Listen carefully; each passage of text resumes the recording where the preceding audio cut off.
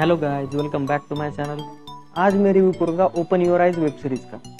ये सीरीज़ हाल ही में नेटफ्लिक्स पर रिलीज़ हुई है। इसके टोटल सिक्स एपिसोड्स हैं। सस्पेंस जॉनर की होने की वजह से ये एक स्पॉइलर फ्री रिव्यू होगा।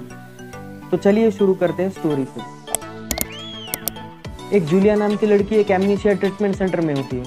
वहाँ उसके साथ कई और लड़के होते हैं, जिन्होंने अपनी मेमोरी खो दी है। बट वहाँ उसको कुछ ड्रीम्स दिखाई पड़ते हैं जो कि रियल लगते हैं। कुछ आवाज़ें सुनाई देती है। रियलिटी और ड्रीम्स में वो खो जाते हैं। फिर उसके बाद उनको शक होने लगता है कि ये ट्रीटमेंट सेंटर नहीं, कुछ और है। तो जूलिया वहाँ से भाग जाने का प्लान करती है।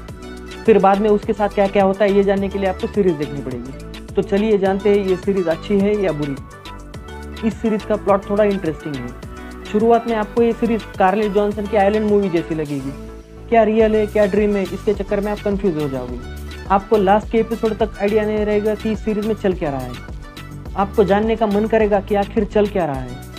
इसी वजह से इस सीरीज़ की स्टोरी आपको ग्रिपिंग लगेगी। Suspense throughout the series अच्छा मेंटेन किया है। इसी वजह से बोर होने की गुंजाइश कम है। अगर आपको ये सीरीज़ देखनी है तो आपको एंड तक देखनी पड़ेगी। एक दो एपिसोड देखने के बाद कन्फ्यूज़न में बंद मत कर देना। क्योंकि कुछ आंसर्स आपको लास्ट के एपिसोड में ही मिलेंगे। इस सीरीज़ का ओपन योर आइज़ नाम क्यों है, ये आपको लास्ट को पता चलेगा। इसका सीज़न टू भी आएगा, क्योंकि कुछ क्वेश्चन के आंसर सीज़न वन में नहीं है। मैंने ये सीरीज़ टाइम पास के लिए शुरू की थी बट अच्छी निकली सीरीज़ आपको ये सीरीज़ कैसी लगी, मुझे कमेंट सेक्शन में बता देना। तो मिलता हूँ नेक्स्ट वीडियो में नए रिव्यू के साथ। Please subscribe my channel for more updates